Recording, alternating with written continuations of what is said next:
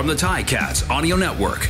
This is Ticats Today with Louie B. Yes, it's a very special Ticats Today free agency special, and I couldn't do it just on my own, so I'm very pleased to be joined by Courtney Stephen, former Ticat now with the Ticats uh, in the offices. And uh, Court, it's uh, free agency, man. It's like the it's it's day one really of the 2022 CFL season. I can I can see the excitement, I can feel the excitement, man. Like you love this stuff, don't you? You got to, man, because if you're a CFL fan, this is like the this is like the second best holiday in the CFL, right? Next to the actual, you know, Grey Cup, the big game.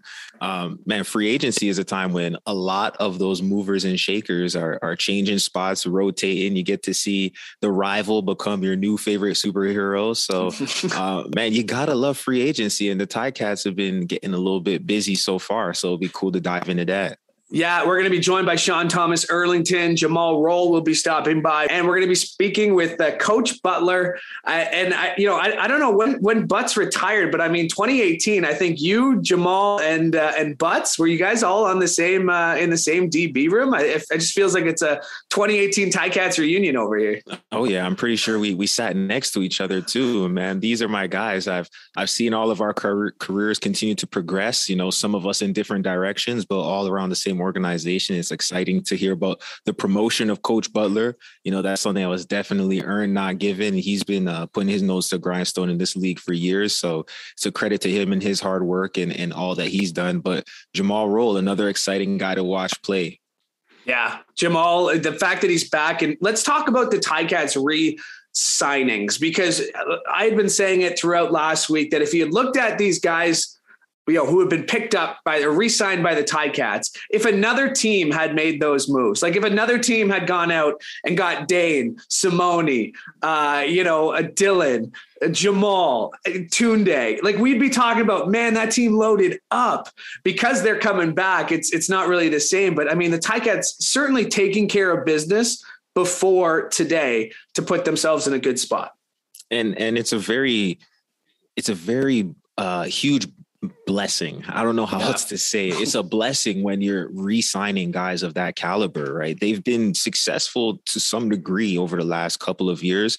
And when you're that close, you don't have to clear house and start from the ground up. There's just some fine tuning that you have to do. And, and part of that process of building a championship team or a championship caliber team is having that foundation. And a lot of those core guys that you mentioned, they've got the experience of going deep into the playoffs. They've got the experience of those rivalry games. And it's important to have those guys on your roster and build around them. So Ticats definitely thinking long term with these pickups. Well, I was just about to ask because Court, you were sold on the Ticats in 2019. And I have to think that the pitch in 2019 was similar to the one they gave, or sorry, 2020 when you came back, when you re-signed with the Ticats in free agency in 2020, uh, and you were sold on what they were selling. What was that pitch like, and, and how similar do you think it is for for Coach O and, and Ed Hervey trying to, to trying to sell the Ticats this season?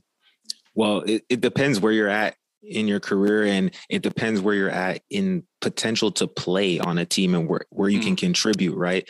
I think the huge thing that you'll ask any of these guys is the culture here. The culture and the opportunity to be successful on the team level. Those are two things that guys really want. You want a chance to get a sniff of that ring. And if you're in a room that has the right people, that's the first ingredient, right? And that's from the top down, from the management, from the personnel department, uh, from the ownership. So I think that's something that people hear about, but then they want a chance to get involved in it. So that brings a lot of guys to the hammer. Then once you get in that locker room, great guys all around, guys who come to work every single day, makes it easy for you to also come to work.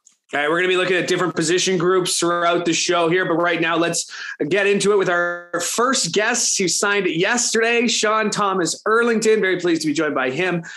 Well, Ticats have certainly been busy the last few weeks, and just yesterday getting the backfield done by shining, signing Sean Thomas Erlington and Maleek Irons. I'm very pleased now to be joined by STE himself. And STE, congratulations on the uh, the new contract. Uh, take us through what this process was like for you, getting so close to free agency. Hey, Louie. Uh, obviously, it was a very exciting moment. I mean, like we, we talked a bit before, uh, for me, it was free agency or being near free agency was pretty new for me in the sense where I used to uh, the, last two times that I signed with the with the Ticats, well, it was way before free agency. So this was a little new, exploring, uh, getting um, some information. Teams talking to my agent, and then him uh, repeating what they were they were telling him, and in a sense, we're like it, it was. There was a lot of teams here and there uh, asking about me, just like it, was nice. It was it was inter- interesting, very interesting. Sorry. So, so how'd you come to the decision to sign with the Ticats? What was the difference maker? Like, was what was the what was the reasoning for coming back? Obviously, like just just the town, just Hamilton, the, the fans. First of all, I mean, also my teammates. I saw a whole lot of people that were coming back this year, and it just it just it just made me maybe want to come back at the same time. Obviously, being surrounded by those guys and, and the run we had last year. Obviously, I'm not expecting to have the same team we had last year, but I think we have a team that can can go on a, on a good run again. Hey, hey, Sean, talking about that room that you're in, there's a couple other yeah. guys who signed back. Uh, tell me what the chemistry is like in that backfield, man. There's there's dangerous people at, at all those spots. There's there's definitely dangerous people with with the different arsenals. I mean, what I like about this room is that obviously everybody knows at the running back spot, there's only one job, there's only one spot on the field most of the times if you're not rotating, obviously. But we're so supportive of each other. Uh, when we watch film, we're always giving giving each other keys on things we can improve, things things we've done well at, at the same time. And it's just we just come every week to compete. Obviously, camp is going to be very exciting, very competitive, but I think it's going to be it's going to be in that way, but in a good sense how do you push each other to be better? And I, I, I asked that because last year the competition was was tight as well across the field. How do you push each other to be better when you're competing for this this starting running back job, but you're also teammates? What what is that dynamic like? Well, it's it starts with like an individual individually we have to like keep each other accountable, like just ourselves, and then also it's trying not to let anything slide sometimes there's some great games with a, a, lot of good, great plays, and then they, they can overshadow the, the, the plays that are not as good. But we really we focus on really hammering those down more than the good plays, so that uh, those those mistakes or the, those lesser plays aren't aren't repeated again. So this is the off season. I know guys are working on their game. What's something that you want to improve on from last year? What do you want to bring to the locker room when you get to camp uh, for 2022? Uh, well, I definitely want to bring more speed. Uh, I know uh, it was it was a little hard with the last two years with COVID and stuff, uh, finding spots to work out. Obviously, it's not an excuse because there's always a way, but but I know that for many people, myself, stuff things were very different. You know, and I'm, I'm not going to repeat what everybody has been saying, but like it's it's been a, it, it was a hard journey, and I think right now having my eyes on on well having signed back and knowing what I want to do for next season, I'm already already in the right direction to to just bring my A game speed wise and then bring the rest of my uh the rest of my skills to the field. Uh, what do you want to say to Ticats fans, Sean? What uh, what message do you have for for fans who are watching this or, or listening to this who are getting all amped up for uh, 2022? I mean, I'd say I'm very glad to be back. Can't wait to see you guys. Can't wait to see the, the stands all all up in black. And uh, let's let's get a let's give it another great run. That's well said. Sean, congrats on the new deal, man. It's going to be great to see you back in the black and gold. I couldn't picture you in any other colors uh, in the CFL, so I'm glad you're you're still you're still with the good guys. Thanks for doing this. Congrats again, buddy. All right, now very pleased to be joined by CFL All-Star defensive back Jumal Rolle. That's got a nice ring to it. He is re-signed with the Ticats, and uh, Jumal, congrats signing on the dotted line. How did you come to the decision to re-sign with the Tiger Cats? I was just patiently waiting um, and just waiting for my opportunity and just trying to maximize um, the opportunity where it presented itself. So I'm um, just glad to be back. Hey, Rolle. So last year you had a really good season.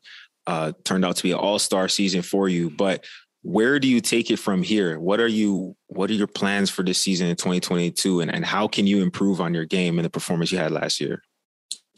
The goal is to get everybody to be all stars. Um, that's a personal goal, something that uh, I haven't seen before in the CFL. And uh, the ultimate goal is, you know, to finish and with the ring.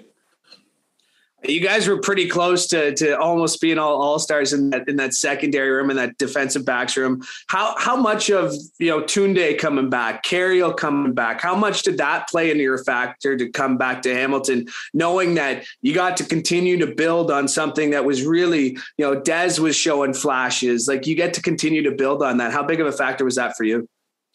Coming back to a group of guys that I'm familiar with definitely uh, it helps in your process. Uh, those guys knowing me um, behind the scenes and uh, on the field as well. So just getting another chance to play with those guys, I'm sure it'd be uh, you know we can turn another page and uh, we can grow um, a step further. And so just see what we can do this year with it. As one of the guys who's had more experience playing at the pro level, um, you, you're one of the leaders in the locker room. So what is it like for you to embrace that role? Is it something that you relish? Is something that you love?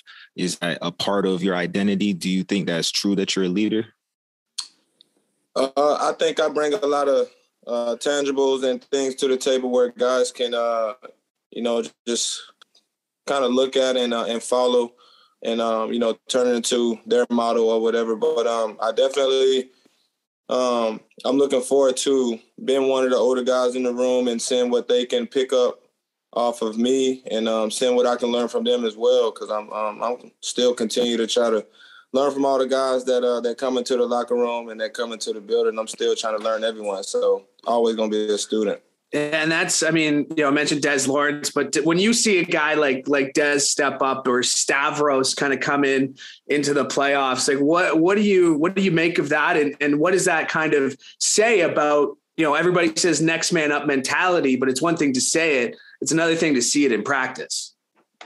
Well, yeah, I think it goes into our daily preparation and uh, just the culture in the building. Everyone is comfortable um, playing with each other. And so when we're out there interacting and um, actually grinding, um, those guys feel comfortable making plays and being themselves. And so that helps, um, you know, them transfer their play onto the field. A guy that can be themselves as quick as quickly as they can um, will help them, uh, you know, on the field transition.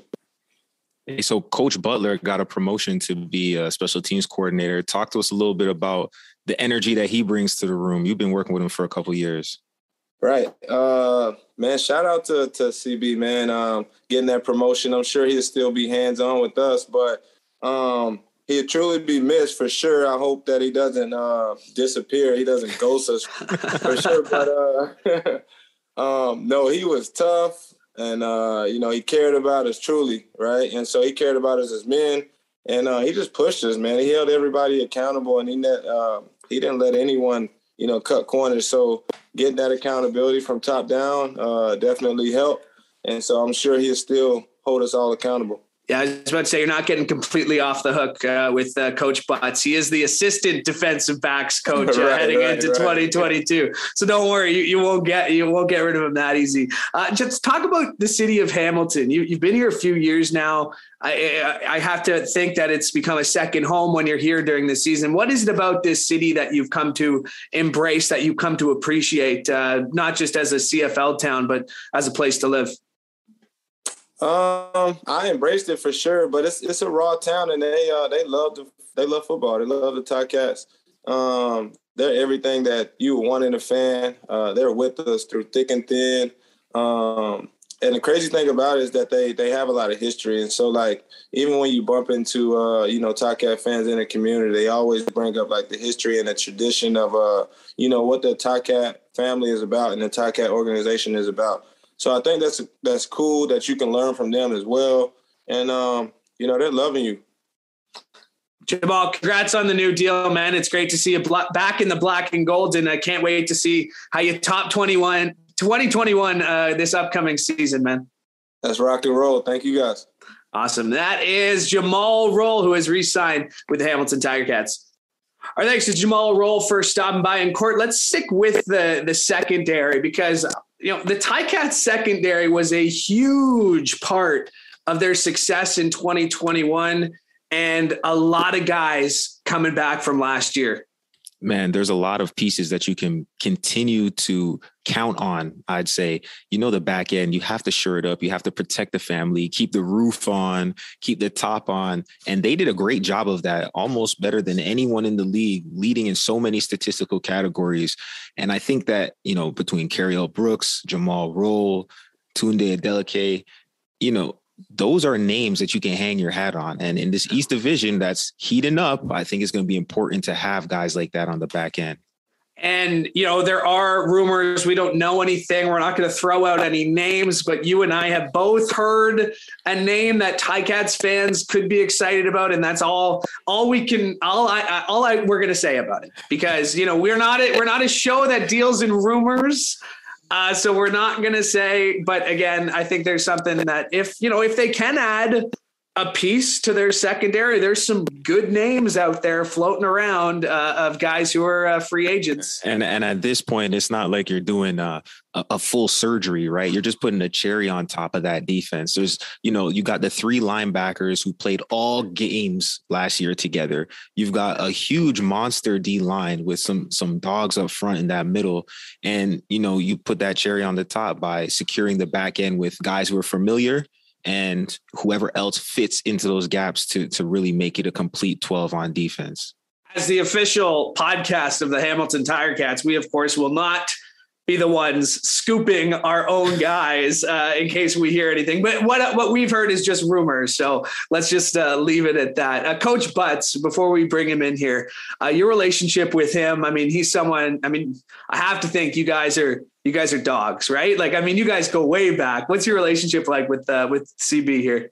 Man, me, me and uh, Coach Craig Butler, we go back further than most people even realize. You know, from the times of me playing youth football and Brampton Bulldogs, and him playing for the London Falcons, then going to the OUA, uh, him at Western, me being a Laurier guy, and then you know through our careers, we had a couple of times to go head to head when he was in Saskatchewan, and then we became teammates. So, um, a guy who I have a deep respect for I've seen him work. I've seen him make plays. Um, it's it's great to watch him continue to thrive, and the team has really done well under his leadership. The defensive backs, so um, it's exciting to watch him continue to rise up and continue to grow and continue to to add bricks to this foundation that's already been built. And you mentioned it with Jumal. I mean, Jumal's not not the loudest guy in the room. He's someone who lets his play lead by example. You know, same can be said for Tunde. Uh, Coach Butts has got enough energy for that entire secondary, right? I mean, what the energy that he brings to the meeting rooms, to the practice field, I mean, that is transferable, and you can really see it when when you get the best out of the guys like he has.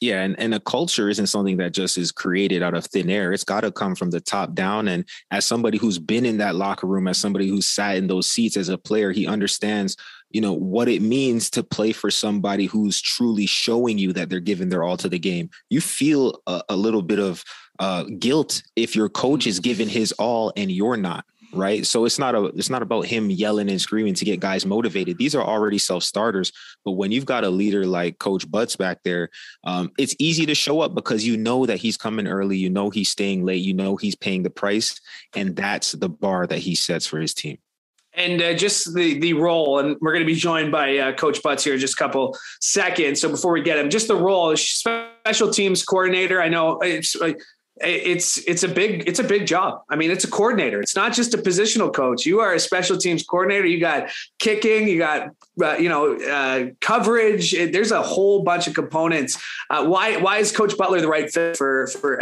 for special teams coordinator? Well, I mean, one third of the game is is is the kicking game. You know, whether it be uh, the field goals, the punts, the punt returns, the kickoffs, kickoff returns, whatever it may be. In this Canadian game, you need to win in the kicking game. And you know, Coach Butler's had an opportunity to work alongside and play for some great coaches. And so, being a student of the game and being somebody who's always developing his own skill set, I know he's going to be ready to step into this role. And it's something that he thrived in as a player as well. This guy, he used to run down there and, and stick his nose in there too. So it's nothing that he's unfamiliar with. And it'll be exciting to see him put his thumbprint on what's been a very potent Ticats special teams already. All right, I'm very pleased now to be joined by the new special teams coordinator for the Hamilton Tiger Cats, Coach Craig Butler, also assistant defensive backs coach. And uh, Coach, congrats on the new role. Tell us how this all came about. This this promotion for you. Appreciate it, uh, Louie and Court. Um, you know, it came about just, I mean, I guess it was kind of years in the making, right? Like it's something that when you get into this business, that's kind of what you strive for is constant kind of elevation and improvement in your own, you know, in your own expertise. So, um, you know, obviously very, very blessed, very privileged to be able to have this opportunity to be the special teams coordinator, you know, coach, coach O and, um, you know, everybody else in the organization from Scott to Bob, you know, to Matt Afinec kind of um, have stuck with me and kind of given me an opportunity and believed in me since I was a player here in 2014. So I would say it's been a slow evolution to get to this uh, to get to this place, but you know, I, it's something that I'm completely ready for and extremely excited for the all the challenges and you know all the opportunities that are going to come along with it. So most coaches get their first coordinator job on a, a, struggling rebuilding team, but you're you're stepping into a position where you've got some guys who know how to contribute, guys who are experienced and and know how to play at a high level. So um, are you looking forward to having some veterans and being on a team that's positioned already to you know put put together some numbers as opposed to rebuilding and starting from the ground up? Yeah absolutely courtney. You know it's um being able to kind of step into a a position as a you know like a coordinator position and have guys that you, that you already kind of have a bond with that you already have a trust bond with that um, know you more importantly as a person first and kind of know what to expect when you walk into that meeting room day one. I think that's going to be huge you know there's guys on that team that i played with right so um, not necessarily the biggest special teams you know contributors but still guys that they understand what the expectations are. They understand what you are as a person and kind of uh, what you bring to a table. Um, you know, and then the veterans that we have, that's ultimately the goal, you know, is to hand it off to them, not by day one, but eventually, you know, throughout the season, it's, um, you know, you want them to be holding each other accountable. You want them to be uh, calling the plays out to each other. So to have veteran leadership like that it's going to be it's going to be huge for uh, our team and you know my personal development as well you mentioned the veteran leadership but the one thing that stuck out to me last year was how young your special teams your coverage teams was mm-hmm. the the baileys the declans you know mason uh, ternowski i mean uh, how impressed were you by by a bunch of young players coming you know removed from football for two years basically and, and what you saw from them? And how do you expect them to build on what they did last year in this new season? Yeah it was outstanding to see those guys grow from you know from week one of training camp to the grey cup really just to see them you know um, expand expand their roles and expand their their attributes as far as what they did. You know, obviously our scouting department brings in these guys, you know, and they they see that. You know, we we watch film as coaches, but they they really do all the grinding hard work and they see the the um, you know the ceiling of these guys and really what they can do. So um, you know, but it's up to the players always to execute. And a lot of those guys they did, they bought in, they had fun. That was the thing that you could see. They brought energy every day. And um, you know, guys like Nick Cross, guys like Stavros, guys like Daly, as the season went on, they became more comfortable within themselves and you know became got out of their shell. And once I think you get a little more comfortable and you start having a little more fun, then football uh, becomes a little bit easier. So those guys were able to do that, and the credits to them because they took the coaching. Um, but then, yeah, for the, for the next year for those guys, and you know the upcoming rookie class, it's about taking bigger strides and bigger steps and you know ultimately uh, completing you know that goal that we're all looking for. Coach the special teams coordinator has a unique opportunity to deal with everybody on the roster more or less from top to bottom.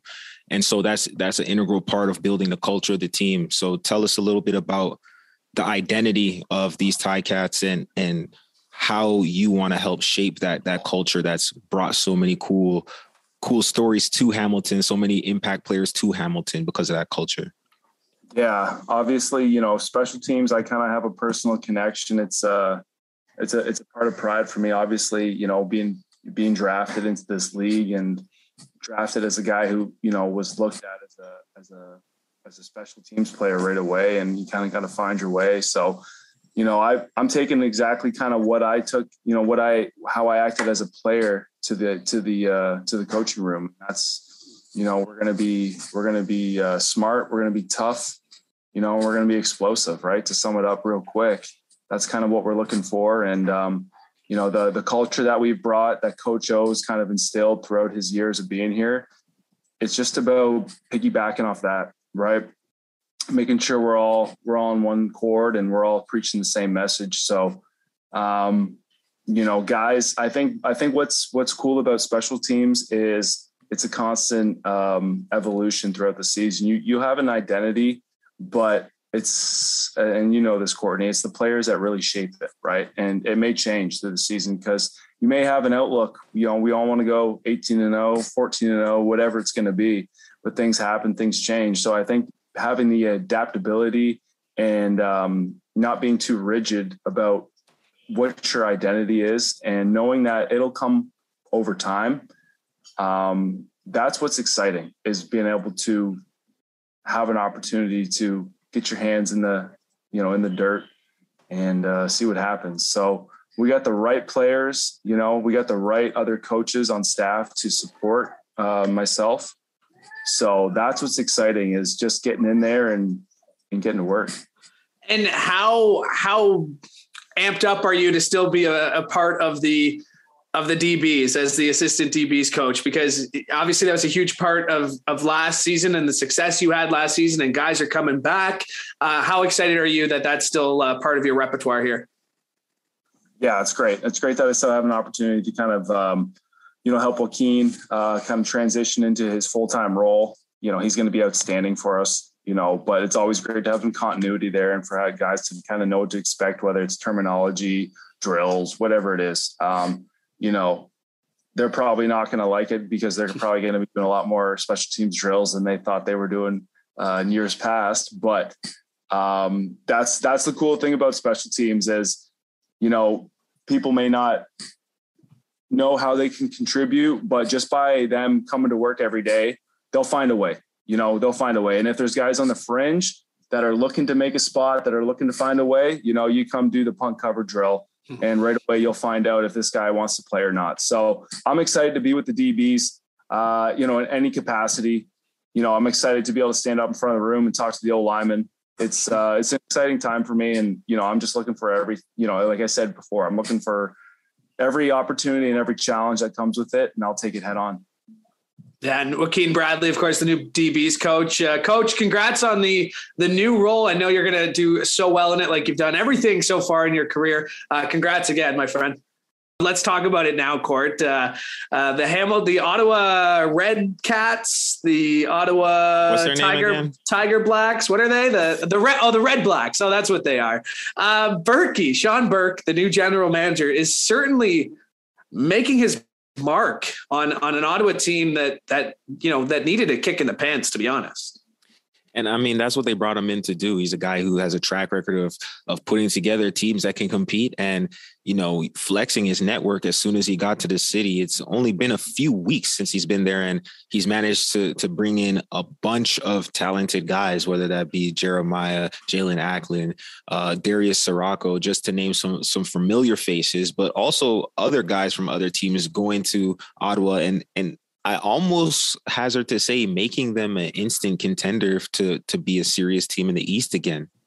William Powell going back to Ottawa as well. That move kind of being an I, I'm really happy for Jeremiah. I'm happy for Dane. I mentioned this on Ottawa radio yesterday. Got called up. They wanted they wanted all the insights on Jeremiah, and I, you know, it, this was really a win win win for everybody involved for the Ticats to get Dane Evans as a, a, a, proven leader. For Dane and Jeremiah, they both get to be starters after battling out. For Ottawa, for the CFL, I mean, Ottawa being good, you you've been in that building when it's rocking. I mean, that that they're such a huge part of this league. Like, I think this is a win-win-win across the CFL, even if it makes the East more competitive, which I think is a great thing too and you know traditionally over the last you know how however long you can count it the West division has been the powerhouse, and the East has always been the question of, you know, are there going to be three teams that make the playoffs or two from the East? And. I think what we're seeing is the potential to have that shift back over and, and have some really competitive teams. I know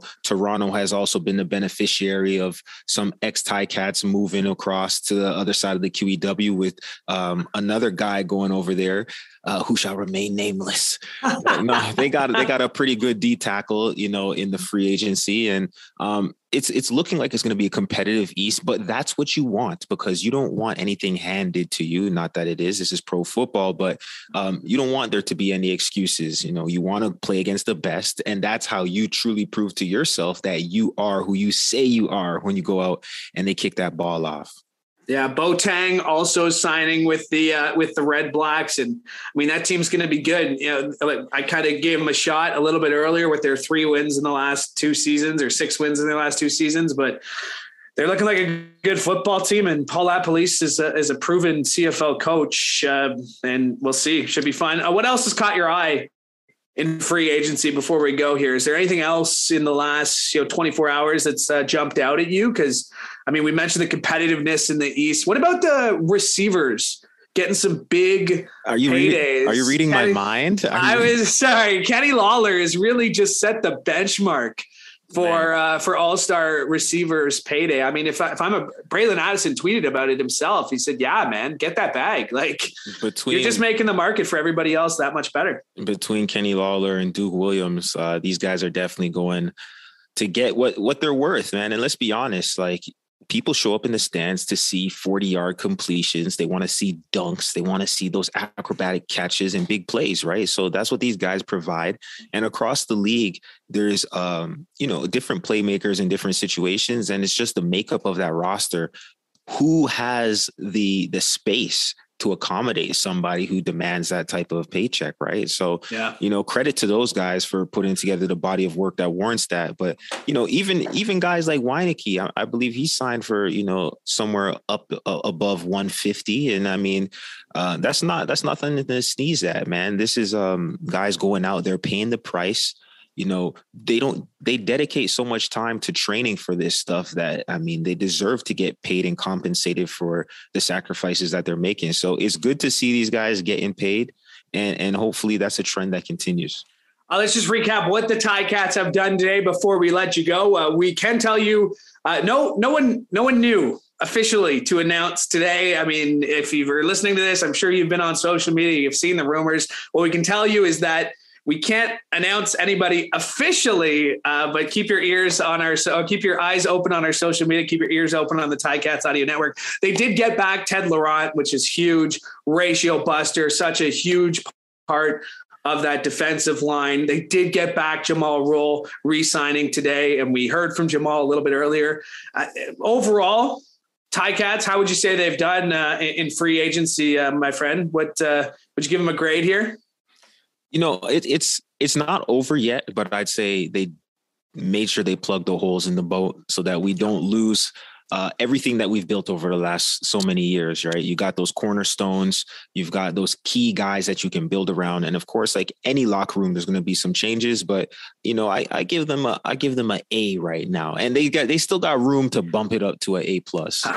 All right, uh, people are going to call us biased, but I'm going to give them an A too because I mean, I, I said it at the start if if I had given you just a, a, a list of the guys that the Ticats had re-signed, and I told you that you know Edmonton signed all these guys, you'd be looking at them as the uh, this the Grey Cup favorites in uh, 2022. So uh, yes, maybe a little bias in our answers here, but the Ticats get an A from us. And like we said, it could get bumped to an A plus. Court, I know you're a busy guy. You got your community work uh, with the Ticats offices, so I appreciate you spending a couple of minutes here this afternoon, getting to talk CFL free agency. It's been a lot of fun. Man, anytime I get to talk a Ticat ball, I love it. So appreciate you. All right, keep it locked to the Ticats Audio Network all this week for exclusive free agency content. Again, here on the Ticats Audio Network.